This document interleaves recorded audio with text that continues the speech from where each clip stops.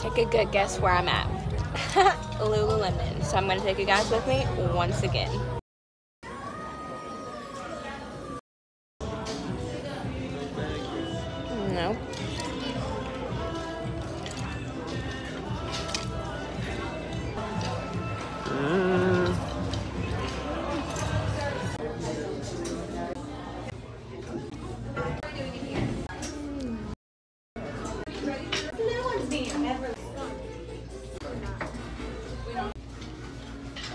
Thank you.